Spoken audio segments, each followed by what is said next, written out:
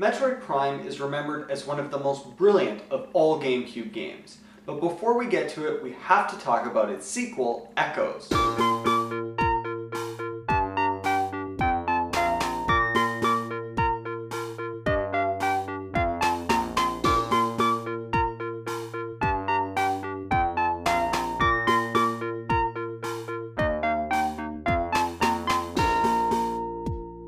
The Definitive 50 with your host, Newbs. Metroid Prime 2 follows Samus on a mission to rescue a group of Federation Marines on a planet known as Aether.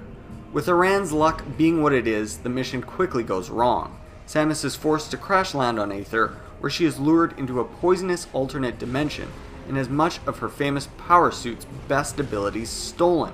From there, Samus is recruited by the great Luminoth race to retrieve the energy source which has kept their planet alive, but was recently captured by the nightmarish Ing race that dwells in Aether's alternate dimension.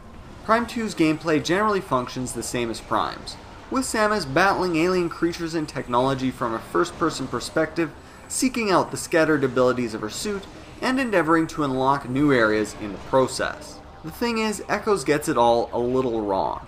Where Prime is lush and full of wonder, Echoes is generally drab and dark, with Dark Aether's areas being so dim it's even hard to navigate sometimes. A late game fetch quest also unnecessarily drags down the experience. Most frustratingly, environments are just complex enough to be tiring rather than challenging during exploration. I chalk this one up to the added complexity in interweaving Aether's dual dimensions. Knowing when and where to move between the two during legwork intensive missions is just too much.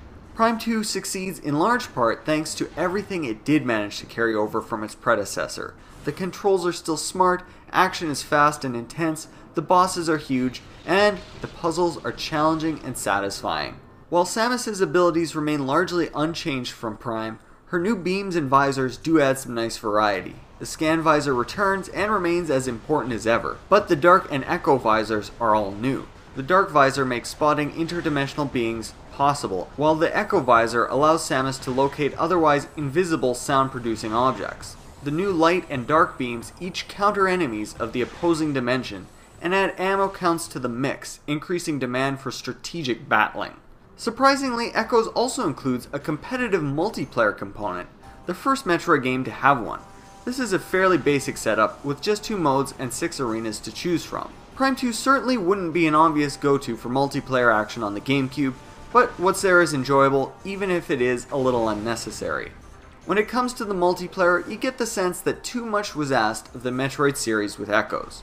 Nintendo seemed to want to counter Halo 2's release, which was around the same time as Echoes, but that's just not the kind of series Metroid is. Metroid Prime 2 definitely demands to stand with the other two entries in the Prime series. It's just the weakest of the three. Let me know what you think of Metroid Prime and the Definitive 50 in the comment section below. Don't forget to rate and subscribe. Check back next week for entry number 7 on the Definitive 50 GameCube games.